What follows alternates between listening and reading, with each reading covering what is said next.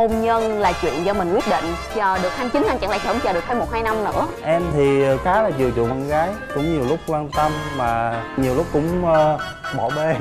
Ủa gì kỳ vậy? Mời bạn nam. Chào anh Linh chào chị Cát Tường chào các khán giả. Mời đi bạn. Mời bạn nữ.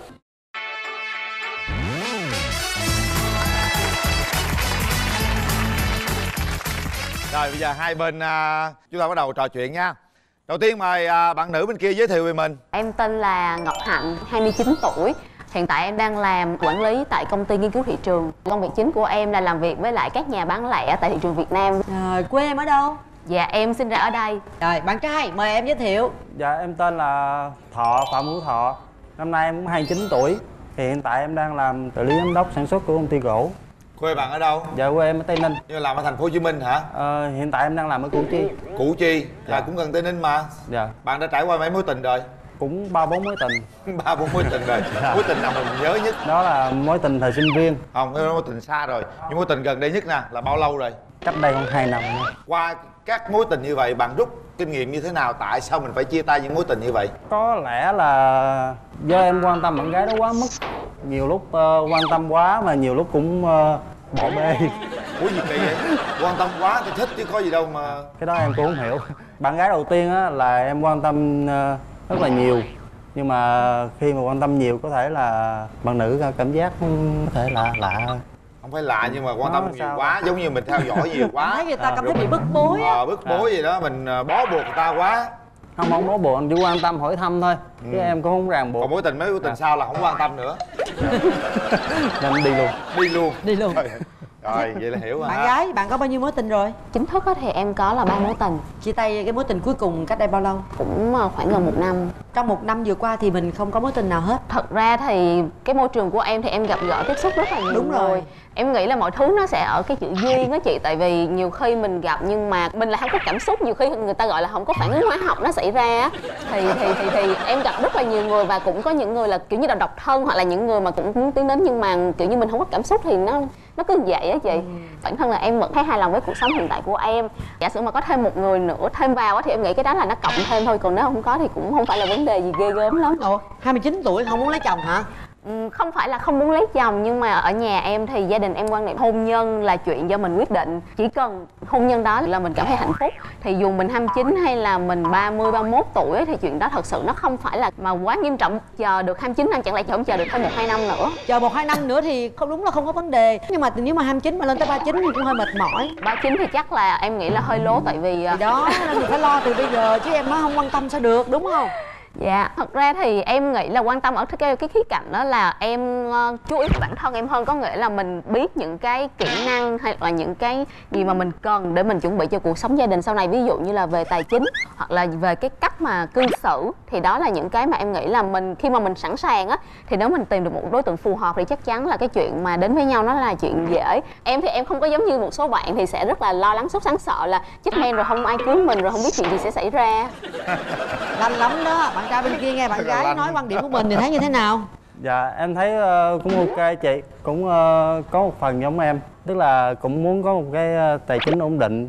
Bạn gái bên kia muốn tìm bạn trai của mình như thế nào? Cái đầu tiên sẽ là chuyện là phải rất là chín chắn và trưởng thành. Tính tình thì sẽ là điềm đạm tại vì thật ra tính tình của em thì em có thể điềm đạm nhưng mà bản chất gốc á thì em cũng không có được hiền cho lắm. Mình bên đây thì rất là điềm đạm, rất là trầm rồi, sao nữa? Yêu cầu gì nữa, bạn gái? Thật sự cái này thì nói cũng rất là là thẳng thắn luôn. Có nghĩa là hai người phải có đảm bảo về tài chính mà phải tương đối ngang bằng với nhau. Thì nó cũng tạo điều kiện để cho tinh thần mình thoải mái. Ví dụ như là đi chơi hoặc là đi du lịch thì cái chuyện đó nó rất là dễ. Và em nghĩ là cái cuối cùng á sẽ là cái chuyện là một người đàn ông có làm vị tha tại vì ờ, trong cuộc sống thì mình sẽ có rất là nhiều sai lầm ai cũng sẽ có sai lầm chứ không thể nào gọi là trọn vẹn được. Thì nếu mà có lòng vị tha thì mới đi đường dài được còn nếu không thì sẽ rất là khó để để có thể là hòa hợp với nhau. Sao anh? Tài chính nó cũng đủ mạnh để mình đi du lịch rồi đó. Vẫn đảm bảo đầy đủ. Có thể lo cho vợ và một người con được không? Dạ được. À vậy là cũng ổn rồi. Anh muốn tìm một người phụ nữ như thế nào? Em muốn tìm một bạn nữ như là tóc dài Nước da trắng chút xíu Nếu được á, thì bạn đó bù lại cho em chút xíu là bạn đó nói nhiều chút xíu. đó. Thấy rồi đó có đó Dạ. nhiều hơn đó. Yên tâm. Dạ. Có yêu cầu gì nữa không? Dạ chỉ vậy thôi. Điểm mạnh và điểm yếu của bạn là gì? Em rất là dễ hòa hợp với lại người khác rất là dễ gần cũng như là em rất là kiên nhẫn để hiểu người khác như thế nào. Còn nếu mà gọi là trong chuyện mà quen nhau như là bạn trai bạn gái á, thì thật ra là em là người luôn chủ động và tạo ra những bất ngờ cho bạn trai. Em hay giận nhưng mà à, khi mà giận xong thì để chừng à, nửa buổi hoặc là mấy tiếng là tự em sẽ hết giận thôi. Không sao con gái giận hờn vu vơ tí cũng được. Mấy bạn trai nếu bạn gái cứ hay Dạ. giận hờn hoài mình có chiêu nào làm cho bạn gái hết giận không có thể là dẫn đi ăn uống xem phim. Nếu mà giận dữ quá thì có thể là chuyến du lịch nào đó để ờ, xoa dịu đi.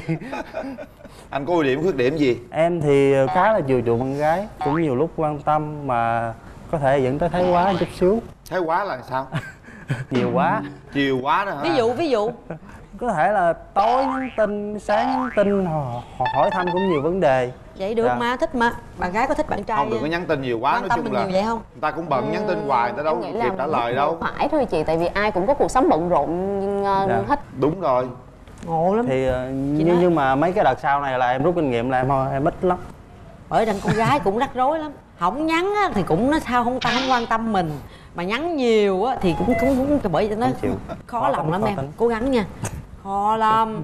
Cô bên này nhìn khó chịu lắm dạ. Bạn có muốn kết hôn chưa? Gia đình cũng hối thúc nhiều lúc nào cũng nghe nói hết rồi. Riết bạn muốn sợ về luôn. nếu tìm hiểu thì bạn muốn bao lâu mình tiến tới hôn nhân được? Ừ, có thể là một năm hai năm. Nếu mà cả- cảm thấy hợp với nhau thì mình tiến tới thôi. Bạn không thích cái điểm nào ở người phụ nữ? Cái hình xăm á thì ở đó em không thích.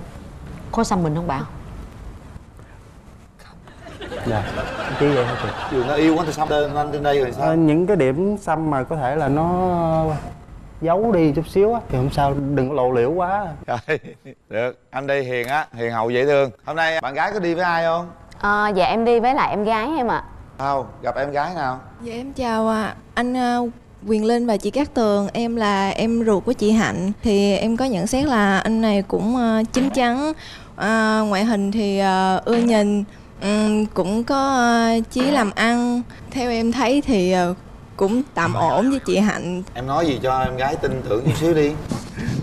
Thật sự em cũng không biết nói gì giờ nữa.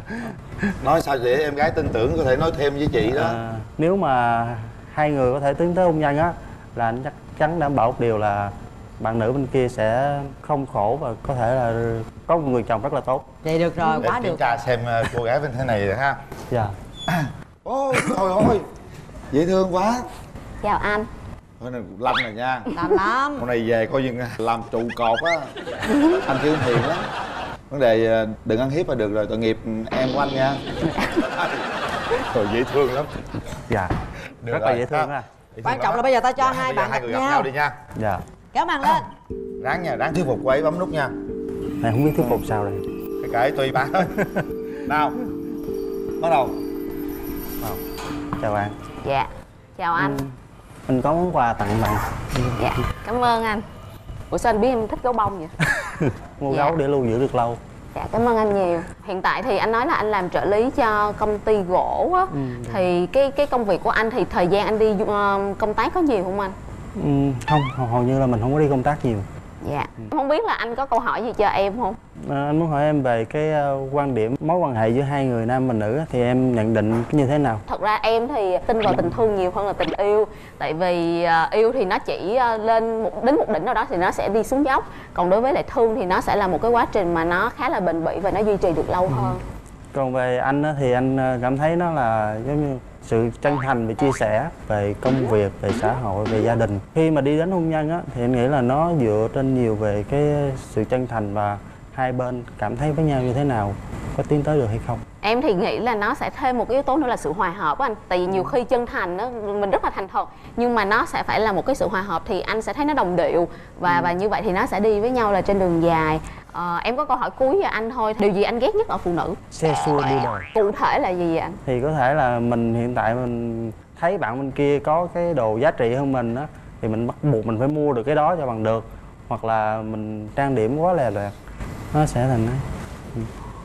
Hỏi thật là anh có thấy tim mình sao xuyến hay rung động chút xíu gì không? Rất là nhiều.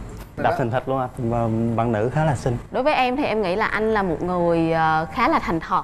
Ờ, cũng như là chân thành giống như là cái mà trước giờ anh ờ, vẫn nói và vẫn thể hiện. Thì ờ, nếu mà em không có duyên làm người yêu của anh á thì em nghĩ là nếu mà làm bạn với anh á thì cũng là một cái em cảm thấy rất là may mắn. Nhiều người đó làm bạn không á tới đây á mình gặp nhau là cũng có thể là một cái duyên rồi. Thì nếu được á thì mình cho nhau một cơ hội để ờ, tìm hiểu nhau hiểu nhau nhiều hơn mình có thể tiến tới hôn nhân hoặc lâu dài hơn. Rồi bây giờ thì quyết định thôi.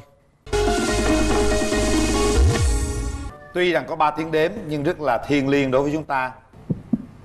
Suy nghĩ nó thật kỹ. sẽ là một ngày rất đẹp để hai người tìm hiểu nhau. Có 3 tiếng đếm để quyết định điều đó. Một hai. Ba. Hết thời gian.